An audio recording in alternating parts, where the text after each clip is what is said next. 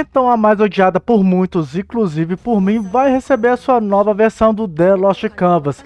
Nesse vídeo eu pretendo analisar a gameplay dela que foi divulgada e especular do que, que poderia ser. Até mesmo aguardo vocês também nos comentários para nós discutirmos do que, que a Pandora The Lost Canvas será capaz. Sejam todos bem-vindos a mais um vídeo do canal do Ney de Sanctuary Awakened, porque nesse vídeo nós vamos conferir a terceira versão da Pandora aqui do Sanctuary Awakening, né? Hip Equity, Hip Equity. Tava muito hypado com a Equity, velho. Tudo indicava a Equity lá e, infelizmente, até a Verônica, né? O Verônica eu acharia mais interessante também do que a Pandora. Mas, enfim, temos que aceitar, né? Teremos aí a terceira Pandora. Obviamente vai ser um personagem, se for bom, ainda mais sucesso. Afinal de contas, Pandora, né? Os gado amam. E só um recado antes de começar, né? Eu acho que eu devo ter postado esse vídeo na quarta noite, não tenho certeza.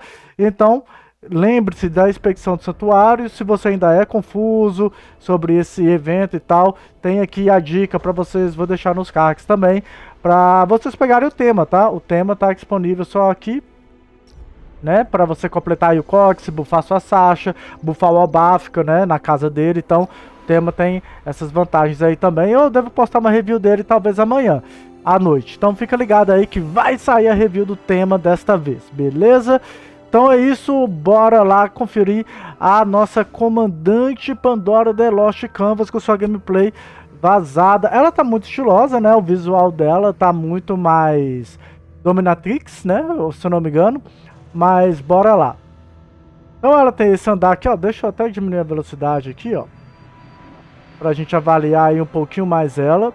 Vou deixar rodar aqui toda a a como fala? O vídeo, né? Porque depois a gente vai fazer a análise skill por skill. Vou comentar tudo aí que nós temos para falar sobre ela, né? É uma personagem que visualmente eu gostei muito, mas como eu já disse no vídeo hoje da atualização, que é o vídeo anterior, se vocês não viram, né? Comentando sobre todas as atualizações que chegou aí. É assim, parece uma skin de Pandora. Então, isso é o que acho paia nos personagens quando relançam ele, né? Eu sou muito mais a favor de personagens novos. Embora quase ninguém queria a Hecate, né? Na minha, no meu vídeo da Hecate, que eu vou deixar nos cards se vocês não viram. Um terço só achou ela interessante, aproximadamente. Mas, né? A Hecate teria um visual muito mais estiloso, quer dizer, uma temática aí bem diferente no game. Mas bora lá, aceita que dói menos, é igual a Sasha, né? Já passou a Sasha, eu não gostei da Sasha, aquela cara da Saori. Então vamos lá. É, voltando aqui, né, na, desde o começo. Opa. Vamos voltar aqui. Isso aqui não volta no início, não. Então, enfim, o que a gente pode ver aqui que ela vai ter essa ah, do easter egg é o, o tridente. Falaram que no easter egg teria uma arma e seria uma personagem feminina, mesmo com a voz masculina, onde todo, muitos pensaram que era o Verônica, né? Seria lançado. Isso aqui provavelmente é a apresentação dela na hora que você invoca ela, tá? Ou pode ser na hora que você clica nela no crescimento. Mas eu acho que é na invocação, porque tem esse, esse vento passando assim pra mudar. Eu acredito que essa seja a animação de invocação dela, bem curta, por sinal. Agora nós vamos para a primeira skill. Essa skill, eu acredito que seja o ataque básico, tá? Não deve ser tipo a skill 3 da Comandante Pandora atualmente. Então a gente cruza os dedos para que seja uma skill bem flop, para que nós não precisemos upar essa skill e assim economizar livros, como é a Comandante Pandora atualmente, né? Então essa aí, no, aparentemente também, não aplicou nenhum debuff, embora que não tem símbolos de debuff e tal. Só causou dano mesmo no Mission, enfim.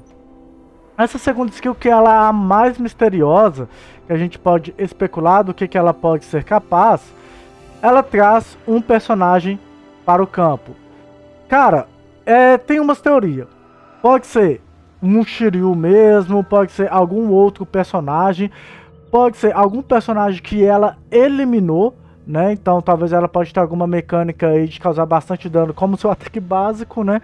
Que aparentemente ela só tem aquele ataque lá de causar dano, mas se não for ataque básico pode ser outro skill, mas eu acho que tá na ordem aqui. Aquela skill 1, essa aqui é skill 2. Ou pode ser, a partir do momento que você eliminar um inimigo, você pode invocar aquele inimigo no seu campo, desde que você tenha aí 5 unidades ou menos, né? Para não ter sete personagens. Mais coerente ainda, você pode reviver alguma unidade aliada que faleceu, né? Isso aí não teria o problema de ter sete personagens no campo, né? Por exemplo, você tem seis eliminou do inimigo, você revive do inimigo e fica sete no seu campo eu acho que ficaria muito mais coerente você reviver alguém. Então vai ser um revive diferente do Odisseus, que você não escolhe quem revive, é automaticamente o primeiro que vai ser eliminado. O Caim também revive, mas tem que ser mais rápido, pode ser dois, e você não seleciona também. Tessauro, que tem a vitória abençoada, só vai reviver quem está com o revive. E a comandante Pandora The Lost Canvas teria uma mecânica diferente. Ela vai reviver depois com aliado seu falecer e é uma skill ativa aparentemente.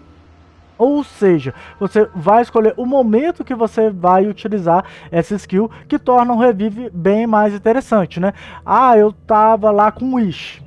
A Wish faleceu. Ah, foda-se pro Wish. Ninguém quer reviver Wish, né? Mas se fosse o Caim, sei lá, Caim não reviveria Wish, mas vamos lá que alguém mais rápido eliminou o Wish, por exemplo, gasta um revive do Caim. Ah, você tá lá com o Odisseus, por exemplo, e o cara vai sentir um combo lá do Isaac mais Alone, e o cara eliminou seu Isaac e gastou revive do Alone, por exemplo, ó, do Odisseus. Então, tá sacando?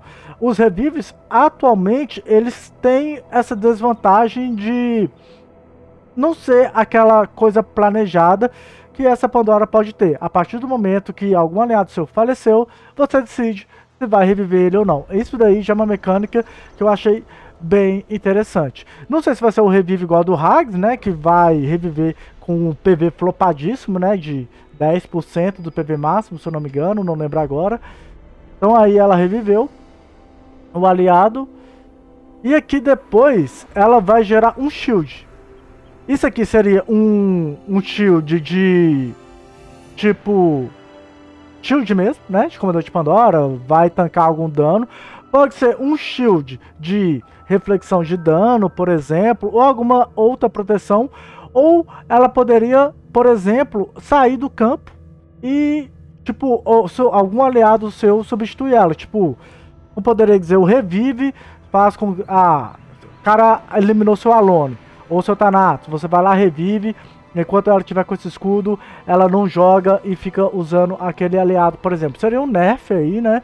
Na, na Pandora, ela deixar de jogar enquanto o outro aliado for revivido. Ou ela pode reviver o aliado, por exemplo, e ele tem uma ação saca? E ela fica imune e tal. Cara, dá pra teorizar muita coisa nesse revive e com esse escudo que ela recebeu após reviver. Como vocês puderam ver, não teve corte de cena, né? Depois que ela utilizou esse revive.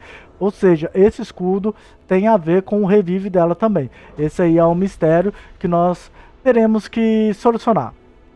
E continuando aqui, ao revive dela, o escudo já saiu rapidamente, agora vocês viram que deram um corte.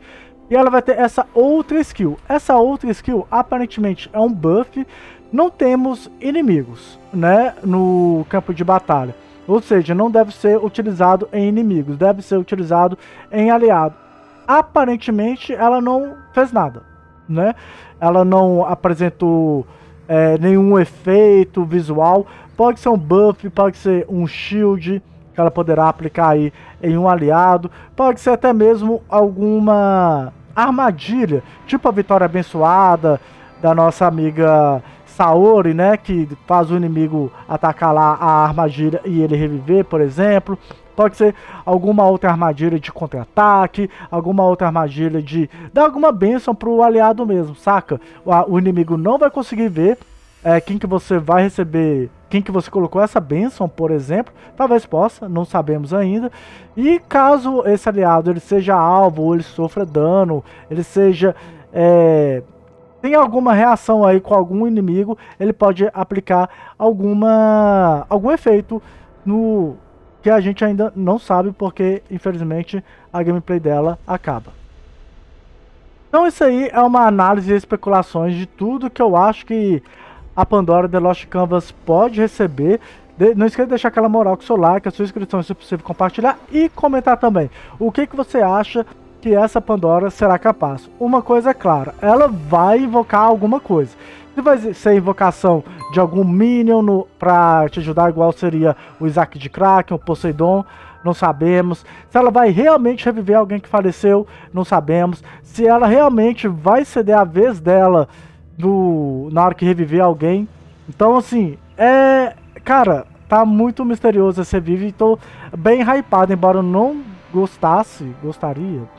Embora eu não quisesse que fosse a Pandora, infelizmente, né, é ela, mas a gameplay dela parece que vai ser bem interessante. E era que se esperar também um suporte, afinal de contas, o próximo personagem que nós iremos receber é o Defteros, né? Então, tá faltando aí o suporte. Suporte, é, suporte, como é que fala?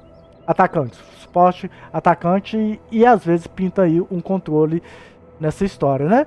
Então é isso, galera. Esse aí foi o vídeo de hoje, um pouquinho da análise mais aprofundada e teorizando um pouquinho sobre do que que essa Pandora TLC será capaz. Agora gostaria de ouvir as suas teorias, pois a minha já comentei. Comenta aí embaixo e vamos aguardar a qualquer momento. Pode sair gameplay dela do servidor de teste, talvez sexta-feira, se tiver atualização do servidor de teste, ela será lançada e quando sair a descrição das skills dela também, a gente volta aqui a trazer e fazer mais especulações para vocês, beleza? Vou ficar por aqui, até o próximo vídeo, valeu e fui!